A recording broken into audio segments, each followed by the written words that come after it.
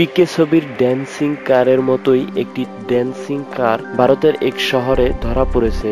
রাতে বা কোনো নির্জন গলিতে নয়, একেবারে খোলা রাস্তায়। দুপুরবেলা পথচারীদের চোখে পড়ে এই ড্যান্সিং কার তা দেখে তো তাদের চোখ চরক গেছে। কালো কাছের জানালায় মোড়া লাল রঙের গাড়ির ভিতর কি চলছে, সবার মনে একই প্রশ্ন তখন। যে গতিতে গাড়িটি দুলছে, তাতে অনেকেই ভেবে নিয়েছে গাড়ির মধ্যে অনৈতিক কিছু চলছে। কিন্তু সত্যি কি তাই? গাড়ির মধ্যে রয়েছেন তিন যুবক। পথের লোকদের বিরামি খাওয়াতে এরকমই একটি পন্থা বেছে নিয়েছেন তারা। আর তাই দেখে মানুষের কৌতূহল চলে গিয়েছে তুঙ্গে।